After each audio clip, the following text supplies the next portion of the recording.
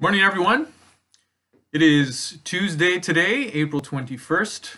Welcome to you all, and a, a special welcome to anybody who might be new uh, to these daily devotional videos. Uh, and a big thank you to uh, all of those of you who have been subscribing to this channel. Uh, we had around 30 subscribers to our YouTube channel when this began, and we have over 100 right now. Uh, and that's great, but I, I want to invite you all to continue to invite your friends uh, to subscribe to this channel or to share these videos with if there is anyone in your life uh, that really needs to be nourished by God's word uh, at this very difficult time. Uh, I invite you to share this page and to share these videos with them. Uh, but again, thank you to, to, you all for joining me today, and thanks for making God's word a priority. Because today we have a, a, very, very interesting psalm. And so on this Tuesday, I invite you to hear the word of the Lord from Psalm 6. David says, O Lord, do not rebuke me in your anger, or discipline me in your wrath. Be merciful to me, Lord, for I am faint. O Lord, heal me, for my bones are in agony. My soul is in anguish. How long, O Lord? How long? Turn, O Lord, and deliver me. Save me because of your unfailing love. No one remembers you when he is dead. Who praises you from the grave? I am worn out from groaning. All night long I flood my bed with weeping and drench my couch with tears. My eyes grow weak with sorrow. They fail because of all my foes. Away from me, all you who do evil, for the Lord has heard my weeping. The Lord has heard my cry for mercy. The Lord accepts my prayer. All my enemies will be ashamed and dismayed. They will turn back in sudden disgrace. This is the word of the Lord. Thanks be to God. These words uh, from Psalm 6 are once again from King David. And I think that we can all agree that these words in Psalm 6 are pretty, pretty intense. David is clearly in a very, very dark place. Sounds like he is dying, or that death is near, or that he's been dealing with something for a really long time. His body is in anguish. His soul is in agony. He is, his body is physically weak from his groaning. He's crying all night to the degree that he says that his couch is drenched with tears. Here we are in Psalm 6, and the Psalms and David continue to surprise us. David, as many of us know, was the most important king in the history of Israel. He was a very, very powerful guy. This is the man who defeated the giant Goliath. And here he is in Psalm 6, crying all night long. King David is supposed to be strong and mighty, and here in Psalm 6, he looks and he sounds extremely weak. And it's clear from these words that these are words of, of someone who has been carrying some kind of very heavy burden with them for a, a long time. Something has been wearing on David for an extended period of time, and in Psalm 6, he has come to the breaking point. He doesn't know what to do. He can't sleep and he can't stop crying. He cannot seem to get himself out of his despair. Now, I know that this is not where some of you are right now. Some of you have even expressed to me that you and your families have some have found some sort of enjoyment in this slower pace. You're you're finding enjoyment in being together more, doing different activities together. But I also know that some of you are getting weary. Some of you have lost your jobs, some of you have lost income. Some of you are not able to see your families, you have sick family members. Some of you are weary from doing school at home with your kids. Some of you are lonely. Some of you are really, really worried about what the future holds.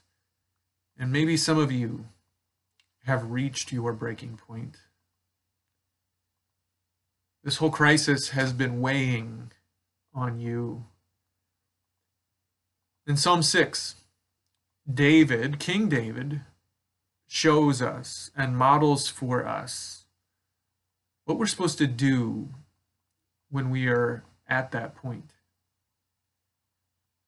David clearly in Psalm 6, he barely has the heart to pray. And I think for many of us, when we reach a place like this, when we reach a place like what David reaches, we think that our problems are bigger than God, or we're ashamed to go to God, or we don't even think about crying out to Him, or we think that there is something wrong with us, and so we need to figure out how to get ourselves to stop crying and get ourselves off the couch and to sleep at night.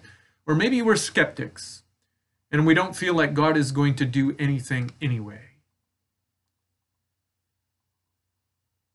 But at the end of the psalm, the language that David uses here is of assurance of God's action and God's plan to act,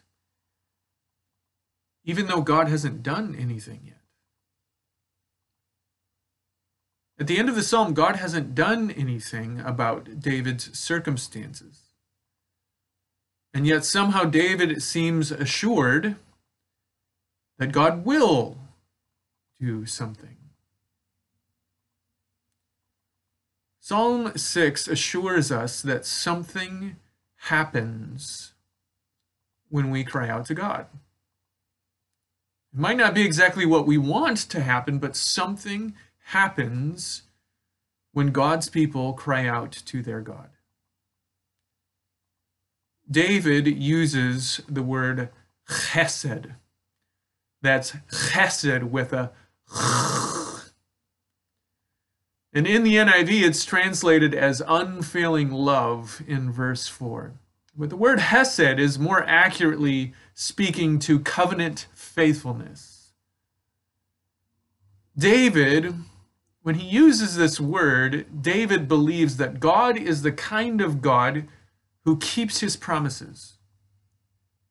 And that belief not only leads David to cry out to him, but in crying out to God, David is assured that God will act. Do you believe this? Do you believe in God's faithfulness? Do you believe in this unfailing love of God to his people, this covenant faithfulness? Do you believe that despite all the pain and the sickness and the death that we are experiencing right now, that God is going to be faithful? Do you have this belief that even if we cannot see what God is doing, that he will act because God does what he says?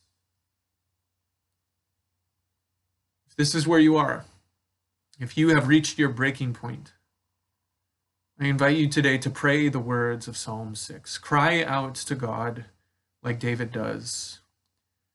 Voice your physical pain and your spiritual pain. Be assured that God wants you to cry out to Him. But don't only do these things. Profess and lean on his unfailing love, his covenant faithfulness. Be assured that you are praying to a God who does what he says, who keeps his promises.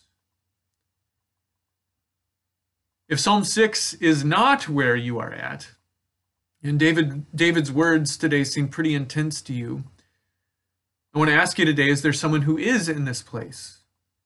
That is having a hard time with all of this that you should pray for, that you should reach out to. And I invite you and your families to pray today that God would meet the people of the world who are in this place, that God would meet people in their physical pain and their spiritual pain, and that God would assure them of his unfailing love. I invite you to pray today that people around the world, especially people who are in a very dark place, that they would cry out to their Creator and that they would experience the unfailing love of God in Jesus Christ. that God would use this painful and dark crisis to bring people back to Him. People of God, may the Lord be with you.